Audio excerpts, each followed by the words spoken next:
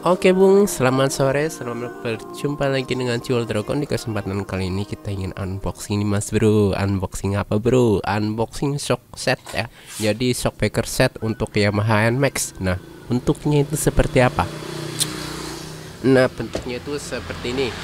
Ini saya mau mereview seberapa kompatibelkah untuk motor sahabat ya. Kira-kira nanti kinerjanya gimana gitu apakah sesuai dengan yang original atau bahkan lebih buruk ya?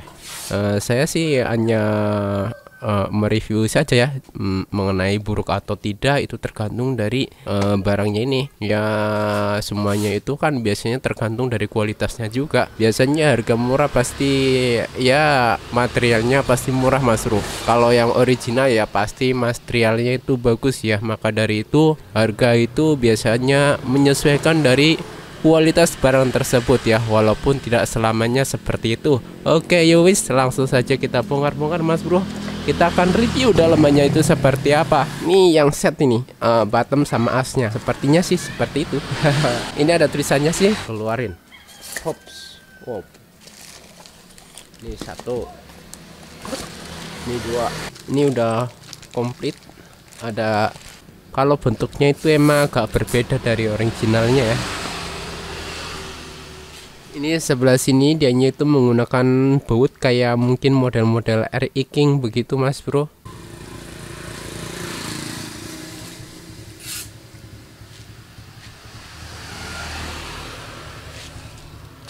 Kalau menurut redaman soknya itu dia kayak kurang dapat mas bro. Kurang dapat untuk redaman shock packernya kemudian untuk pernya juga terlalu keras kalau menurut saya pribadi. Oke karena uh, gambarannya seperti itu kita tinggal bongkar seperti apa dalamannya. Oh ini menggunakan L L Honda. L Honda ininya. Kalau L Honda itu menggunakan kunci berapa bro? Kalau L Honda itu menggunakan kunci ini uh, kunci 6 mili sedangkan kalau yang original Yamaha itu dianya menggunakan ini uh, yang 8 mili. Jadi jadi kuncinya itu ada dua. Ini buat Honda ini buat Yamaha. Ini Yamaha 8 ini Honda 6 tapi ini menggunakan Honda yang nggak tahu sih dalamannya sulingannya seperti apa. Maka dari itu kita bongkar ya mas bro. Saya penasaran kalau speaker murah itu seperti apa begitu ya. Kira-kira kompatibel nggak sih kalau dipakai. Dan nanti apa aja kekurangannya dan apa aja kelebihannya semacam itu.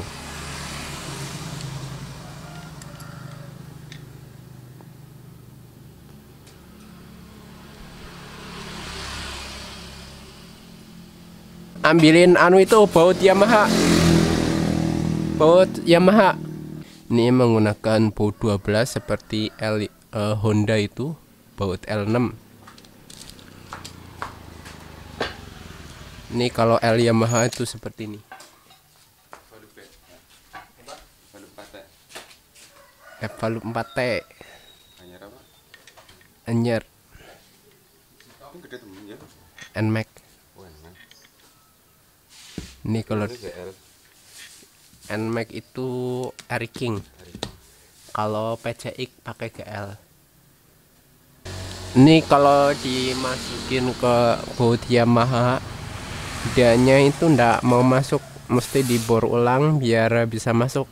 Kalau kepalanya itu bisa masuk seperti ini tinggal dibor aja kalau seumpama menggunakan suling shock originalnya ya. Oke kita tap dulu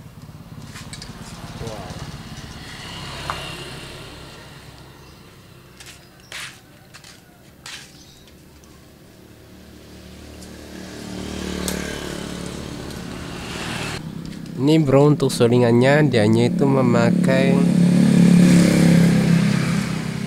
memakai empat lubang di sini. Tuh. Satu eh empat. Yuk banyak banget. Dia itu memakai empat lubang. Satu dua tiga empat. Nah sedangkan ini adalah original dari Nmax itu cuman satu. Dianya itu ini lubangnya itu empat empat mili kalau ini ke kemungkinan itu 3,5 ya 3,5 kali 4 kalau sulingannya untuk diameter sulingannya itu adalah eh, 13,5 13,6 Oh, berbeda dengan PCX pastinya Mas Bro. PCX itu 14. Ini PCX 14. Ini 13,6. Ini 3,13,6. Tuh. Kalau yang original NMAX ini yaitu adalah 15 ini original NMAX 15 Oke bos, oke bos, kita review dalemannya lagi. Copot-copot bos. Wow, ini agak ekstrim guys. Wow, awas takutnya cepat ya. Hehe, medeni. Iya, jangan cepat. Wah, itu kan. Gila nih, bos. Ayolah. Keluar.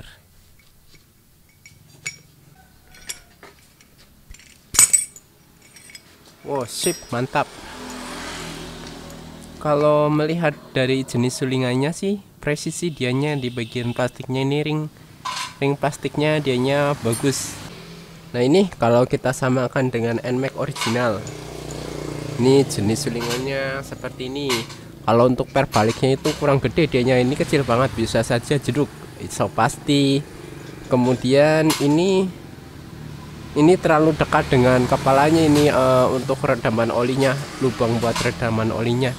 Kemungkinan jeduk besar mas bro. Kemudian sulingannya ini kurang panjang ya.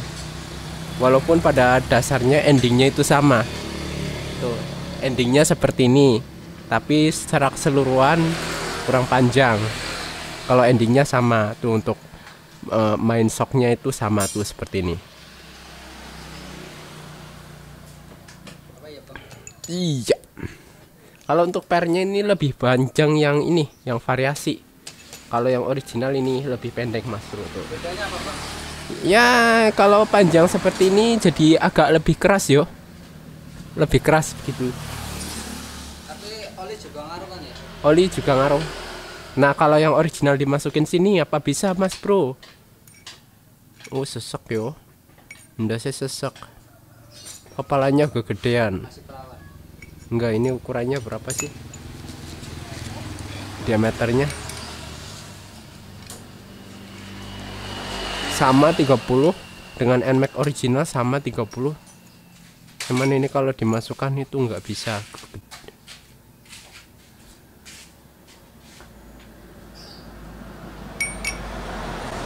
kalau tanpa ini sih tanpa ringnya ring plastik. Oh bisa masuk. Ya berarti kalau dengan ring plastik itu bisa tapi agak sedikit pemaksaan. Kalau sebelah sininya oh ya bisa mas bro. Uh, mantap. Mantap kali. Kok ini pakai selingannya yang kecil? Oh iya benar. Ini mas bro kelemahannya cuman di sini nih. Oh jadi ini apa namanya sulingannya kekecilan. Nah kalau mas bro itu beli uh, merek yang lokal itu bisa mengadopsi suling yang original semacam ini. Nanti olinya itu agak dikentalin tapi biar uh, redamannya itu oke okay, mas bro. Jadi biar redamannya oke okay, dianya itu pakai sulingan Nmax yang original. Nanti pernya juga pakai Nmax yang original biar lebih pendek atau kalau ndak pakai yang original ini nanti dipotong mungkin dua ulir satu dua biar lebih empuk ya mas bro. Terus sulingannya pakai ini. Nanti rasanya itu mirip yang original mas bro jadi nggak jeduk. Itu adalah salah satu jalan keluar atau jalan pintas biar shockbreaker KW sobat itu kinerjanya itu normal. Nah kalau pakai ini gimana bang pakai yang originalnya? Maksudnya adalah pakai yang bawaannya aja. Kalau Mas Bro itu pakai bawaan bisa cuman jeduk gitu udah gitu aja. Poin. Jeduk. Dijamin ini nggak pakai lama karena ini lubangnya itu gede nih buat sulingannya. Ini sulingannya kecil. Pakai itu pakai pro juga lebih kecil lagi nih. Tapi kalau pakai ini so pasti so good ya mas bro.